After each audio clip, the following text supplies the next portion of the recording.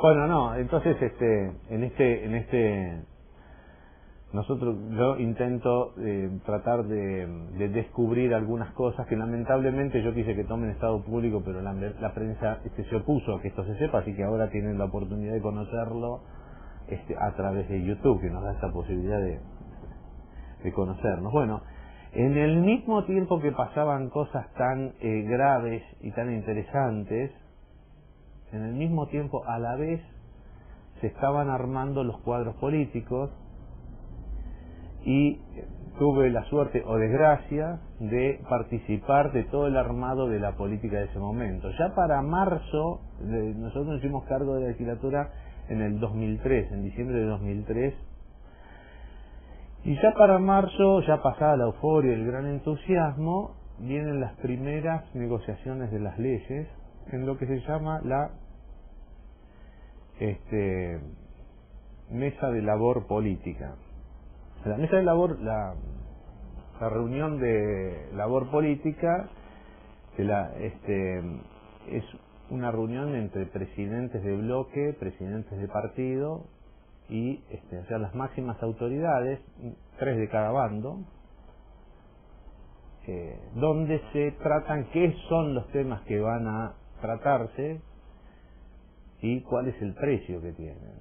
Entonces, eh, las primeras de reuniones, yo no, por supuesto no sabía de esto, pero eh, ya estamos viendo que se venía una negociación. Entonces, la primera ley que se trata, no me acuerdo cuál fue, no era la primera tampoco, sería ya la número 20 porque hubo varias sesiones donde...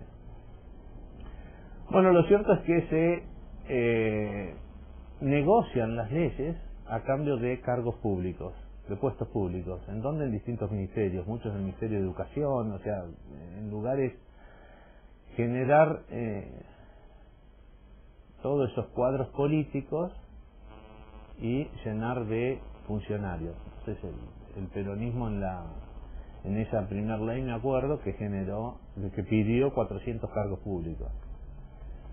Bueno, yo yo de la reunión no participaba, porque eran reuniones secretas y estaban solamente presidentes y algunos vicepresidentes. ¿no? Este, pero sí, por supuesto, entré inmediatamente después que termina la reunión y eh, con entusiasmo para ver qué habían pedido los sátrapas de los peronistas. ¿no? Este, entonces, bueno, me entero que te das cuenta estos peronistas, porque los radicales son muy de, de gesticular y yo siempre digo que no existe más delincuente que el que no lo parece, ¿no?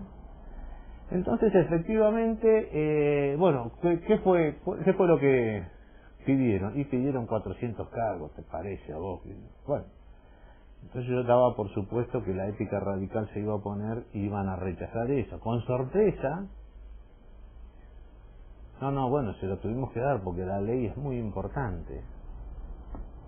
Y imagínate que repartimos 400 cargos para nosotros también porque, en fin, hay que mantener y armar los cuadros políticos. Bueno, ahí yo ya fui el primer derrumbe que tuve porque todo esto que dije en el, en el, en el apartado de recién respecto de la comisión sobre la desaparición de personas que era tenía un alto montaje este contrastaba con esto que estaba pasando eso eh, era inaudito. Bueno, eh, así se sucedieron las primeras negociaciones y después ya directamente las negociaciones eran por dinero. El dinero era remitido al y por partes iguales. Ya ahí como vieron mi desaprobación, yo trataba de enterar de cuál había sido, pero no tenía precisión. Pero sí después lo que veía este, el dinero que era remitido desde el Ministerio del Interior para comprar, para el, Ministerio de Gobierno, para comprar las leyes, y que por supuesto se las repartían los dos este, cuerpos legislativos, entonces eso entraba en un cono de sombra que ni siquiera los propios legisladores sabían cuánto era el monto, solo sabían presidente y vicepresidente de la Cámara. Los legisladores no sabían esto. Entonces después los repartían discrecionalmente según eh, la fuerza del legislador, ¿no? Entonces ahí aparecían los sobre color papel madera que el secretario legislativo del bloque se encargaba de repartir a cada legislador. Bueno, esto, esto sumado a otras cosas que después voy a produjo en muchísimos legisladores un derrumbe total. Y en las siguientes, eh, gente realmente honesta, porque, ojo, había gente honesta, y las que hacía esto lo hacían desde, desde la ética radical, muy, muy, muy radicales, por supuesto. Entonces, este, imagínense que había senadores, no quiero avanzar en este tema, pero lo cierto es que esta y otras cuestiones hicieron que muchos legisladores, yo diría que los mejores legisladores, no quieran seguir en política. Se auto excluyan de la política porque los tenían ahí como títeres. Eh, la, la sesión parlamentaria era era un era una mise en scène de y algunas discusiones de algo ya estaba absolutamente arreglado era era una parodia de democracia no este bueno estas cosas yo intenté denunciarlas por supuesto para ya para el año 85 cuando lo acontecido tanto en la Comisión de Derecho y Garantía como este, mi, mi enfrentamiento con esta gente, yo reunía, me reuní con los presidentes del radicalismo por lo menos y les dije que, y también con algunos de los del justicialismo, y yo les dije que renunciaba porque lo que creía que estaban haciendo era un delito. A lo que estos tipos me trataron de golpista.